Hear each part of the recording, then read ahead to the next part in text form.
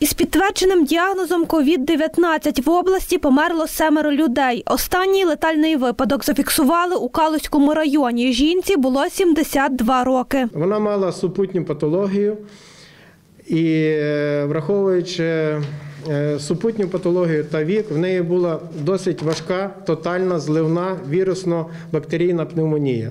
На жаль, наступила легенева недостатність і хвора померла. Породілля, котра померла у Івано-Франківському пологовому будинку, коронавірусу не мала. Такий результат показала ПЛР-діагностика. Проте її аналізи ще додатково досліджують. Новонароджена дитина жива, однак у неї двобічна пневмонія. Дитинка наразі перебуває в обласній дитячій клінічній лікарні на апараті штучної вентиляції легень, стан середньо, е, середньої важкості. Коронавірус не підтвердився і в чоловіка з села Вовчківці, котрий помер у швидкій по дорозі до лікарні, стверджує Володимир Чемний. Згідно результатів токсикологічного обстеження та вірусологічного обстеження в референс лабораторії Центру громадського здоров'я в нього не було підтверджено е, коронавірусної інфекції. Є і хороші новини. Вже п'ятеро прикарпатців за попередніми результатами одужали від коронавірусу. В них тільки підтвердився один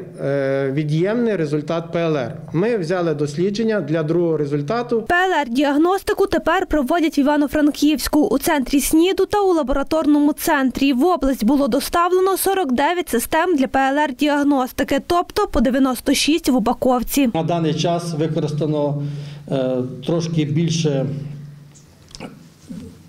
4 системи з половиною, тобто в нас на залишку 44 е, з половиною системи. Це приблизно є можливість обстежити ще методом ПЛР-діагностики 3700 лю- людей. Крім того, найближчим часом Прикарпаття отримає ще 10 тисяч експрес-тестів від благодійних організацій. Юлія Торконяк, Денис Довган, телерадіокомпанія Раї.